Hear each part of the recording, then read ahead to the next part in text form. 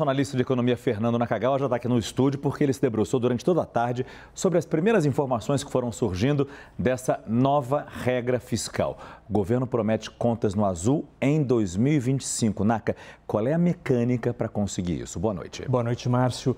A mecânica é, ela parte de um pressuposto muito simples. Eu vou limitar os meus gastos olhando para o que eu ganho. Então, é como quando a gente está com a conta no vermelho, com muita dívida na nossa vida, e determina que, olha, se eu tiver um aumento de salário, por exemplo, de mil reais, eu não vou gastar todo esse dinheiro. Eu vou separar uma partezinha deste aumento de renda, de aumento de arrecadação, para pagar as minhas dívidas. E quando você faz isso sistematicamente, você consegue gerar um saldo, esse saldo é usado para pagar a dívida e aí você acaba melhorando a sua situação é, suas contas. E é exatamente esta mecânica prometida ou indicada nestas primeiras informações que a gente tem sobre o marco das contas públicas. A gente separou, Márcio, hum. um, um esqueminha muito simples para mostrar e explicar esta mecânica, tá? Então, os gastos do governo, eles poderão crescer, mas desde que cresça um ritmo menor que a arrecadação de impostos. Então, é, o número que está circulando em Brasília é de 70%. Então, vamos supor, o governo arrecadou um bilhão de reais a mais do que o previsto ou do que o esperado. Não, esse dinheiro todo não poderá ser gastado, ser, virar despesa imediatamente. Não. 30% disso vai ter que ser separadinho e o governo só vai poder usar os 700 milhões de reais deste aumento de arrecadação. Esta diferença entre o que aumenta a arrecadação e aumenta o seu gasto vai gerar um saldo positivo. Este saldo é o chamado superávit primário que é o saldo nas contas públicas, ele é a última linha do saldo da conta do governo e dinheiro esse que vai ser usado para pagar as dívidas do governo. Inicialmente os juros da dívida e depois, se tudo der certo, consegue também até pagar um pouco do principal, da dívida de fato. E quando isso é feito consistentemente, o que acontece, o impacto é matemático. A tua dívida para de crescer e aí começa até no futuro, uma questão de anos, ela começa até a cair gradativamente. A indicação que a gente tem agora, Márcio, é que este mecanismo permitiria, ao fim deste governo, governo Lula, a gente ter uma estabilização da dívida pública este indicador é importantíssimo para entender se as contas públicas são sustentáveis ou não. Deste lado aqui da tela, Márcio, a gente tem a evolução, o impacto disso nos números de fato. Aqui nós temos o, o, o saldo, a expectativa de saldo na última conta, na última linha das contas do governo é o superávit ou déficit primário. A expectativa do orçamento de 2023 é a gente terminar o ano com déficit de 2% do PIB. Imagina que é o teu salário. Você vai terminar o ano devendo 2% do teu salário, ali com um número negativo, conta no vermelho. O governo já Lula, quando chegou, esse orçamento é do ano passado, né? ele foi desenhado no ano passado. Ele disse que é possível reduzir esse número para 1% do PIB. Então, ele terminaria o ano com saldo negativo, equivalente a 1% do PIB, dá uns 100 bilhões de reais para arredondar.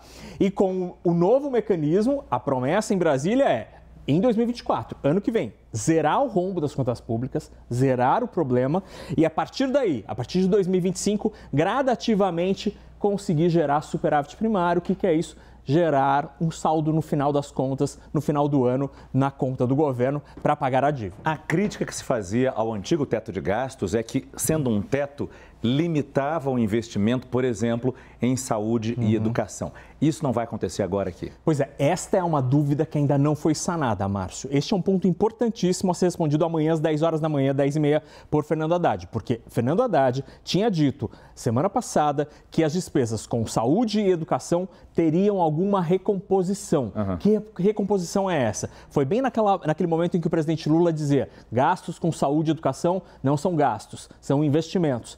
Até agora não está claro qual será esta recomposição, porque de pouco adianta dizer que eu vou gastar menos, o meu, o meu gasto vai crescer menos do que a arrecadação se o meu gasto começa num patamar muito elevado. Então, que patamar é esse em que as despesas vão começar a seguir o ritmo da arrecadação? Esta é outra pergunta que precisará ser respondida amanhã pelo ministro Fernando Haddad. Mas, em linhas gerais, Márcio, o, conversando com economistas, a mecânica uhum. deste sistema é bastante simples, de fácil compreensão e que, a depender do patamar de início, destes gastos, sim, pode ter um impacto positivo. Agora, talvez um resultado tão forte assim de 1% do PIB aqui, né? 2 era o orçamento original, o governo já trabalha com 1.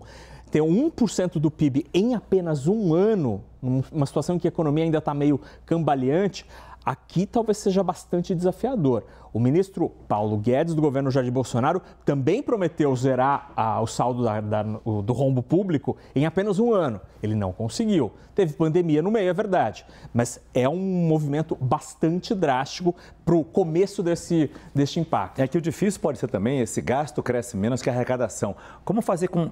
Como, como, como gastar menos e não ter a, a, a tendência de buscar uma arrecadação maior, por exemplo, no aumento de impostos para fazer esse, forçar esse equilíbrio. Então, este costuma ser o problema, costumava ser o problema da regra anterior que a gente tinha durante o governo Lula 1, Lula 2, Dilma 1, tínhamos apenas e tão somente esta meta para o saldo primário. E aí o que o governo fazia quando ele queria gastar hum. mais, ele arrecadava mais, dava um jeito de arrecadar mais. Este é um problema. Então passa a ser uma, um aspecto a ser observado. Mas a promessa é que a gente vai ter uma travinha também no gasto. Uhum. Então, em tese, em tese, isso acabaria sendo coberto. Os detalhes realmente a gente não tem, então é outro ponto a se observar amanhã. O NACA está aqui também, ele vai trazer os destaques do mercado financeiro e, claro, a reação que foi acontecendo ao longo da tarde, quando as primeiras informações foram surgindo sobre o novo marco fiscal. Sim, a, o, a primeira reação foi muito positiva, Márcio. A hum. Bolsa é, em São Paulo terminou o dia de maneira positiva. Antes das primeiras informações,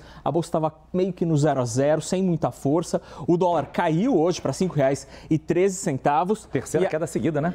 Terceira queda seguida. E isso é uma, uma indicação de que a primeira informação que piscou na tela dos, dos agentes do mercado foi bem recebida. A partir de agora, todo mundo com os olhos amanhã na CNN para entender o detalhamento desta regra. 10, 10 e meia da manhã é a hora marcada para essa entrevista coletiva, onde a equipe econômica, claro, comandada pelo ministro da Fazenda, Fernando Haddad, vai apresentar esses detalhes. O que o NACA trouxe aqui foi uma apresentação geral, fundamental importantíssima, até para provocar questionamentos em cima do que virá realmente amanhã na apresentação do texto. Por enquanto, obrigado, Fernando Nakagawa.